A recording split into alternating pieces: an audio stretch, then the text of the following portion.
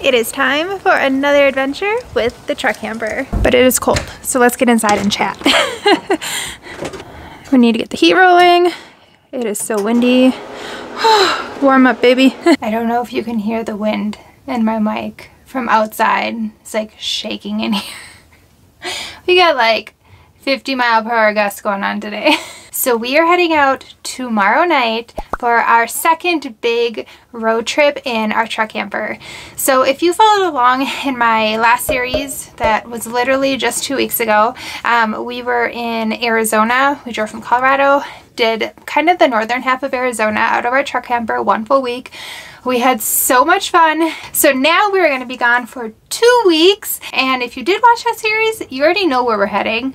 But if you didn't, definitely go check it out. And oh, yes. Hi, Ozzy. Are you going to say hi to YouTube? Are you going to hide behind me?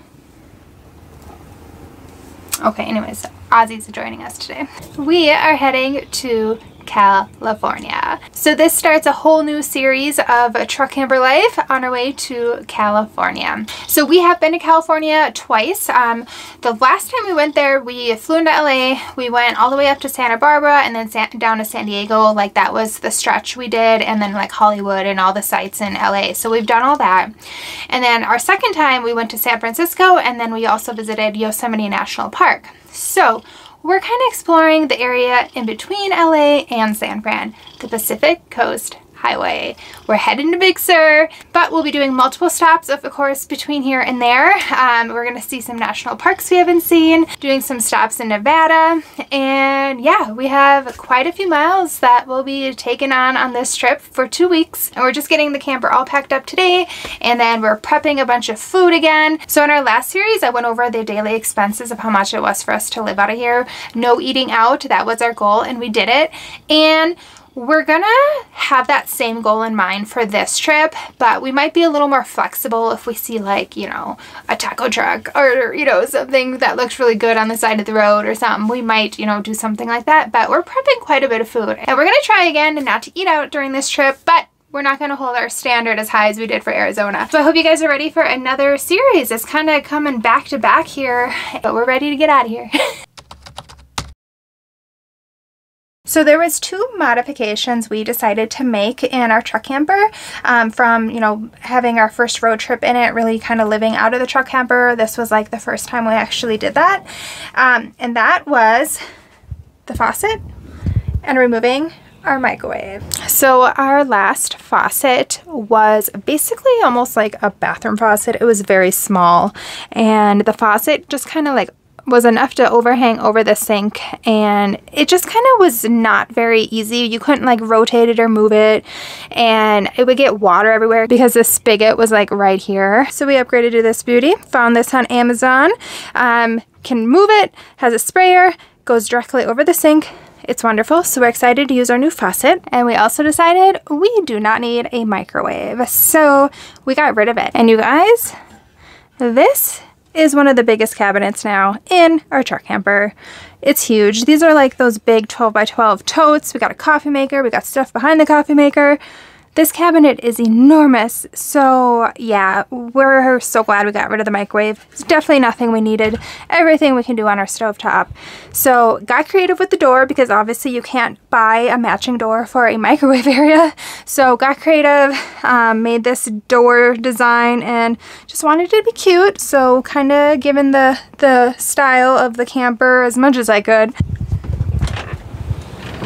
Oh, look who it is. Oh, it's windy The fam bam. The whole fam bam is here. We got Vince and we got Ozzy. What do you got for Ozzy? Some shrimp. Shrimp? Ozzy's so spoiled. look at this. Now he gets shrimp. I was making chowders. you know. Yes, Vince is food prepping right now. And I'll show yeah. you what we're food prepping. Um, but one of the things involves shrimp. So whenever we take out shrimp, we give the Ozman some shrimp. Got two today. He loves it.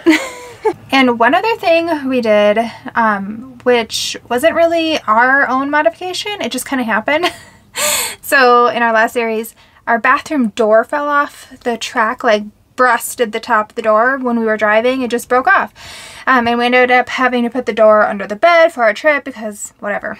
Um, and we decided that was the second time that happened we're not having a bathroom door anymore. We really don't need a bathroom door. We need the shower curtain for the shower, but we don't need the door. So I went and got this really cute little shower curtain on Amazon. and we said goodbye to our bathroom door. And now we just have a cute shower curtain right here. So kind of matches, you know, see see what I'm doing there? Matchy matchy kind of vibing. Yep, yep, that's where it's at. so one of the food preps is being cooked right now.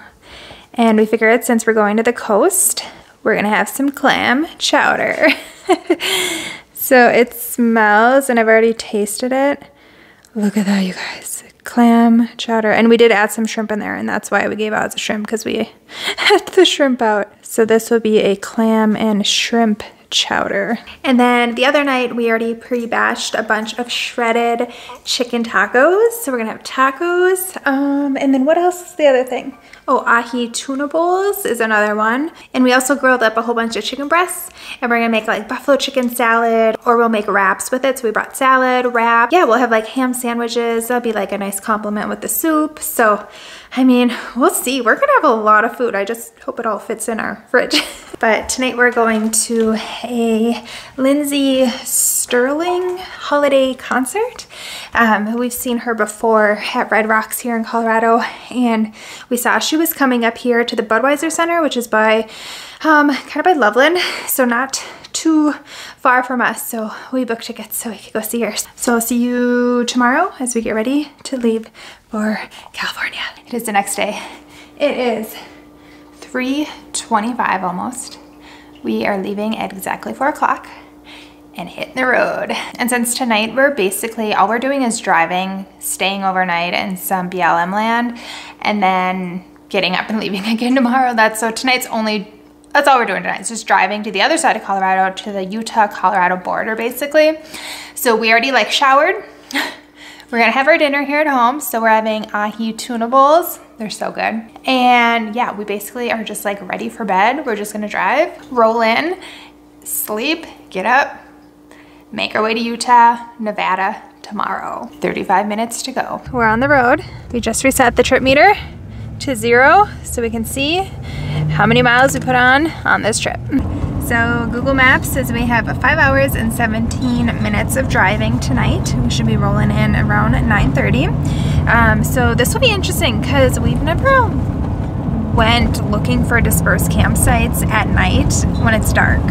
We always try to get to our campsite before it gets dark so we can kind of scope out the area and kind of see around and whatnot. So um, this will be interesting, but um, it is what it is. It gets dark early in the winter, so anyways, so that's where we're at. And there's already like backups on the highway, so we're being rerouted because there's like a few accidents. So we're kind of taking some back roads. Hopefully it shouldn't back us up too much, but anyways, Let's go!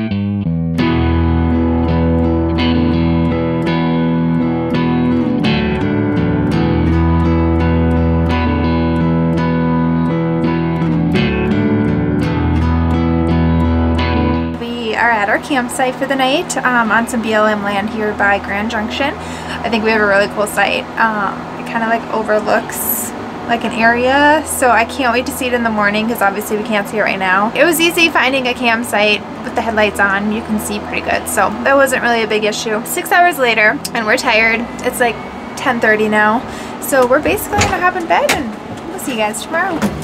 Good morning. we survived a very, very, very cold night. I don't know why, but last night felt like the coldest we've ever camped. I don't know what it was. It was warm in the camper, but I just kept getting cold all night, which is, we haven't had that yet, but it was cold last night. but let me show you our campsite. We're literally waking up and just rolling because we had like seven hours of driving today, so we're not even making coffee. We're gonna grab coffee on the road. See, I told you we are gonna be flexible on this trip and today's one of those days. but let me show you this. What a sweet area. So these are all numbered sites, dispersed camping. We're at site seven.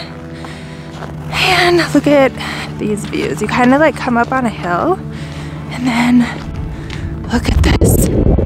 You can see like I-70 down there. This is gorgeous and cold and windy. Ah! yeah, look at this. How cool are these sites? Let's go. it's 14 degrees right now. Oh my gosh. Let's go. Are you a little cold? Let's go to Vegas. Let's go to Vegas! Woohoo! Gosh, it's beautiful though over here. Wow. When we were driving in last night, we're driving past all these rocks and so we're like, wow, this looks cool, but we couldn't really see it. Now we get to see it. It's beautiful drive up here to these sites. so last night when we got to camp, the pipes are frozen because we have to go through the Rocky Mountains to get basically to anywhere warm if you're going west. And um, yeah, we the lowest was like when we were through Vail, it was negative 11, and we figured um, that our pipes were gonna freeze again, and they were. But once we got it all warmed up this morning, we tried everything. Everything's running again. to clarify that we had antifreeze in all the pipes. It's just the very main little pipe. When we fill our water tank, there's like this little pipe that connects to the rest of the pipes. We can't close that pipe off when we fill our water tank, and that's the line that always freezes. Um, but everything else still had antifreeze in it, so we were fine. We weren't worried about it, but um, yeah, so everything's okay. Um, it's just that one little line. But hey, I see the Utah sign. It's right in front of me. Hello, Utah. There's a lot of people there this morning. Wow. Look at us. Thanks so much for being with us. We have about six and a half hours of driving is what the map is telling us. So hopefully it stays that way. We don't have any, you know, accidents like last night that makes us backed up an extra 25 minutes. Um, but we are literally heading all the way to Nevada. And so today is just driving through Utah, um, which is a gorgeous state. It will definitely be a scenic ride today as we make our way to Nevada. But first we have to find coffee somewhere. We didn't make coffee, I don't know. Kind of debating if we should have made coffee now. Nah, okay. So we're in Green River, Utah. There's a little coffee shop here.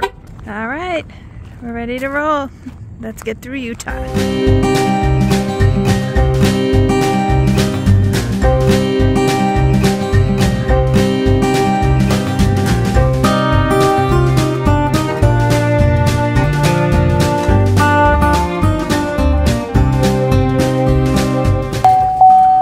So we're gassing up right now, uh, somewhere in Utah, and it's like teens all morning. Our water froze again because we were gonna have breakfast, but we don't have no water because everything's froze because it's so cold. We need to get to Nevada.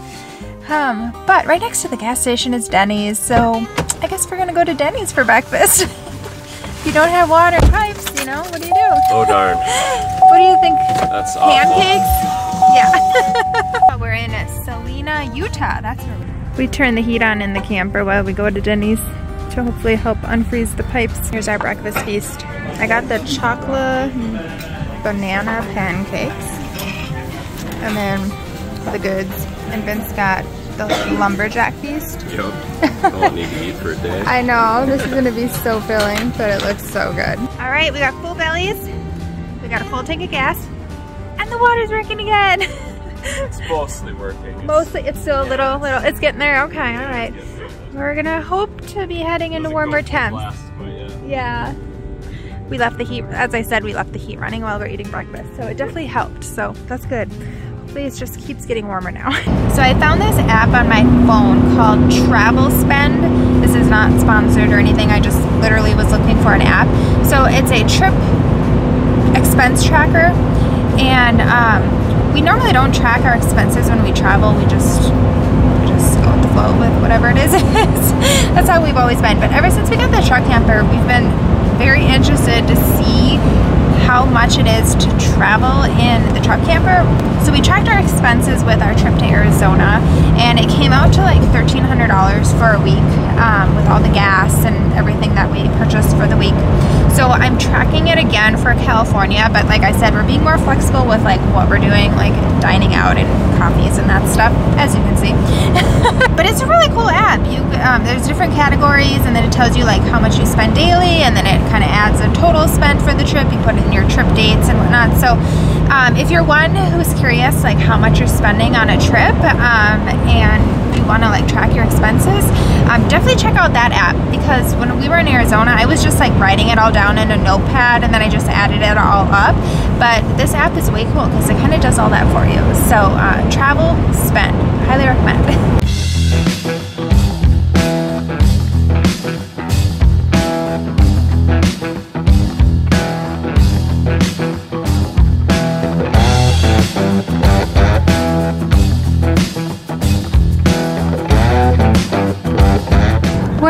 palm tree territory. so we are in St. George, Utah.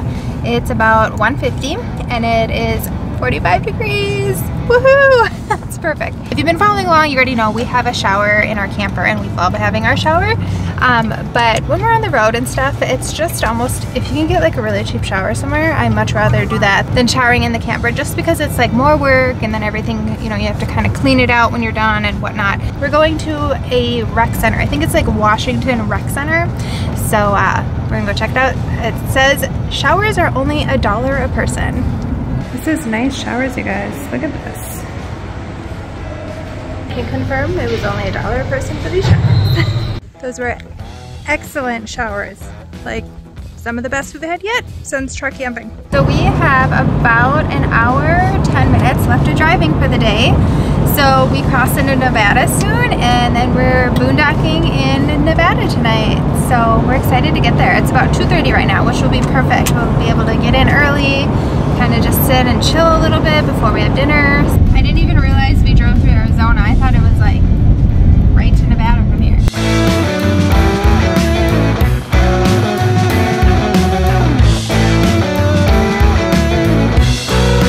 We're in Nevada! So this is the truck camper's fourth state.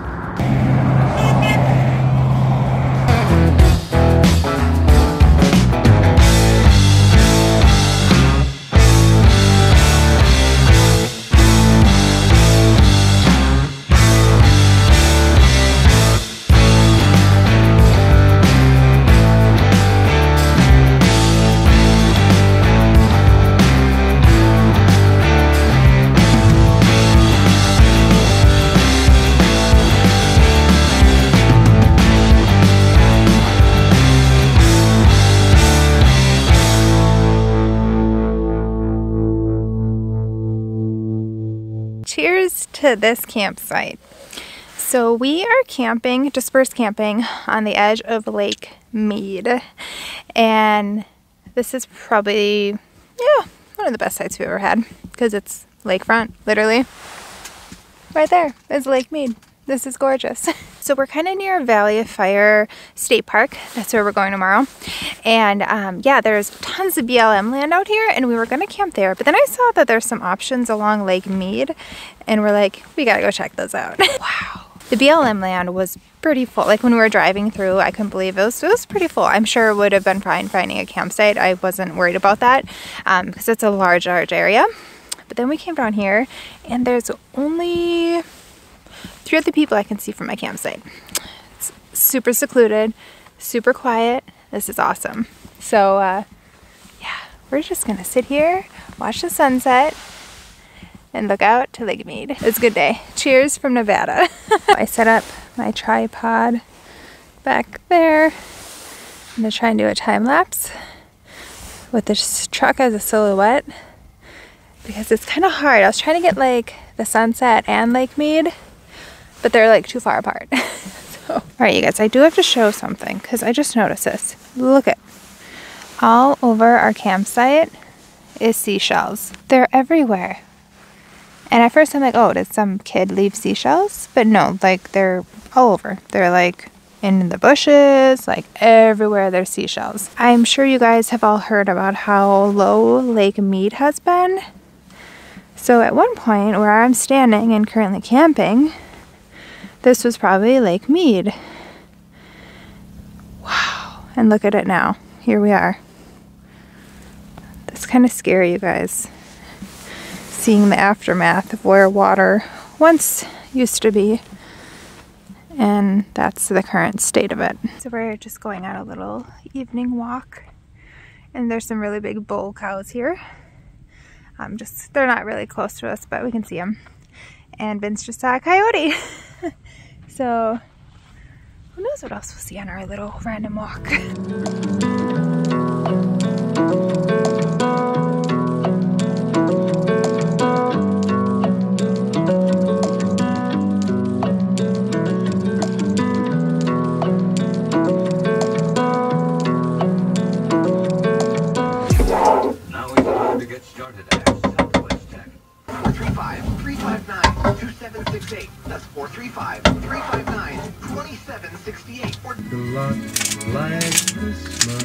So this is dinner, clam chowder, pre-batched, and some ham sandwiches, and we forgot the mayo.